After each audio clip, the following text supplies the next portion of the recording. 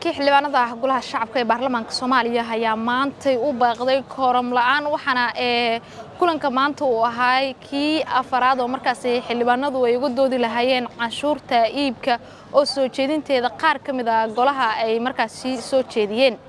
Xildhibaan abshirow oo ah guddoomiye ku-xigeenka labaad ee golaha shacabka oo maanta isagu shir guddoonka ahaay ayaa ee markaasi xildhibaanada ku wargeliyey in kooramka in la buuxiyo muhiim ay tahay isagoo tilmaamay in qaar ka mid ah xildhibaanadii ay joogaan magaalada muqdisho islamarkaana ay nasiib darro weyn tahay in kooramkii uu maanta uu buuxsami waayo.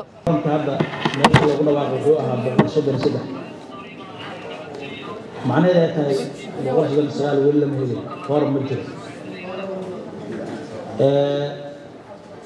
Dooda socotana waa dood aada muhiim u ahayd oo oo xildhibaanada ay ka doodayeen arrimaha ku saabsan canshuuraha dalka iyo cabashada ee ka timid ganacsatada kala duwan.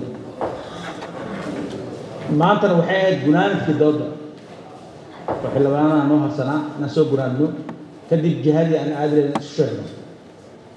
Marka hadda waxaan samayn karna ma laha. Doodina ma dhammaystiri karno. Jihadii aan aadi lahayna mooshin kara ma waxaan samayn karna ma laha. Maxaa yeelay koorabkee maanta u fadhinaa taasna waxaa sababay xildhibaanada magaalada waa joogaan muqdisho.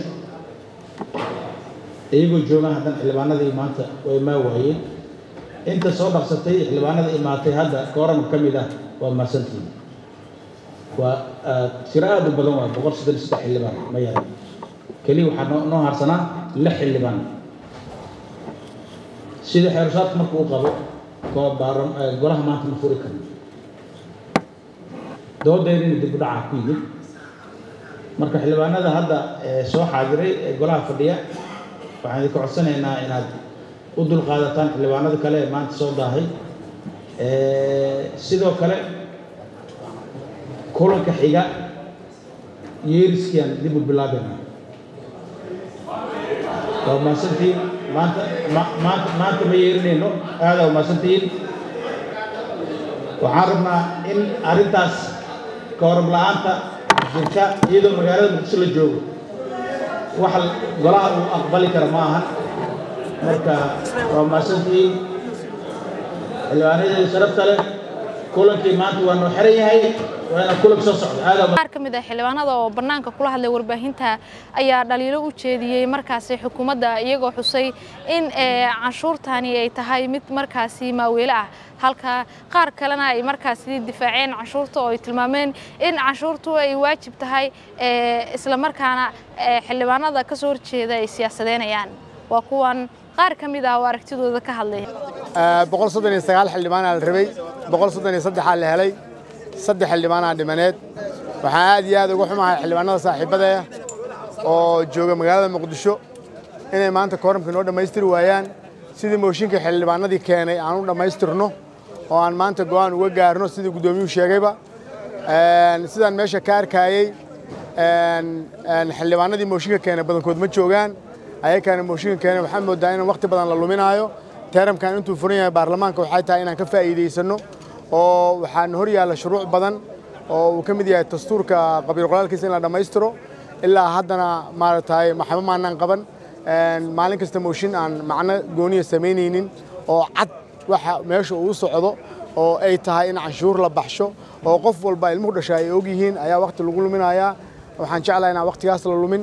Waxaan jeclahay in inta la soo dhammaystiro kooramka in maaragtay la qabto baarlamaanka la dhammaystiro kabacdiina mooshinkii go'aan laga gaaro.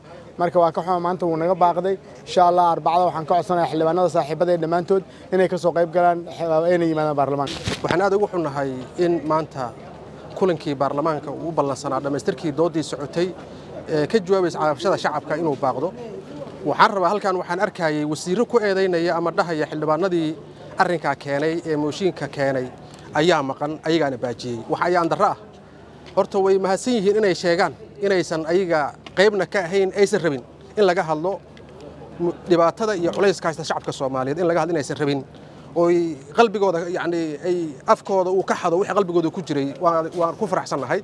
Intaa kadib waxaan aad ugu xumahay wasiiro ciyaalo suuqiin ah kelmaddaasaan ku tilmaamaya. Shacab aanu naxayn ee waxay matalaan aysan jirin. Ee xilalkana lagu siiyey noocaaya dadka lagu siiyey oon ognahay ee laaluush lagu siiyey.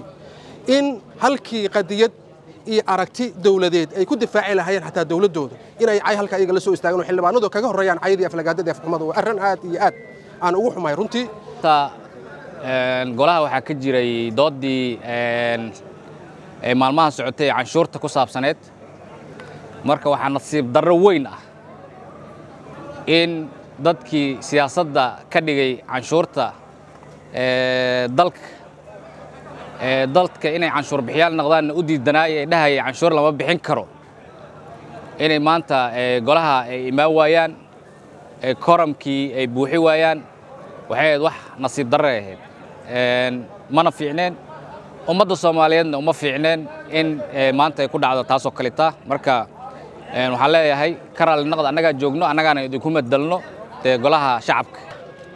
In muxuu ahay xildhibaanadii iyadoo magaaladii ay joogaan aysan fasax ku jirin inuu la dhaha baarlamaankii koor la'aan ayaa loo xiraaya annagana mataqaanaa ii sheeg ee sharaf darre ay nagu tahay haddii xildhibaanadii annaga aan nahay. Shacabka soomaaliyeedna way damqanaysaa. Marka runtii arrintan maanta dhacday aad iyo aad aan uga xumahay. Bidnillaahi kariim mataqaanaa ii sheeg kolley guddoonkii iyo xildhibaanadana dib ay isu arki doonaan. Marka ee waa wax aad iyo aad looga xumaado. Maxamed xudeen cardoofe Somali Cable TV xarunta golaha shacabka ee Villa Hargeysa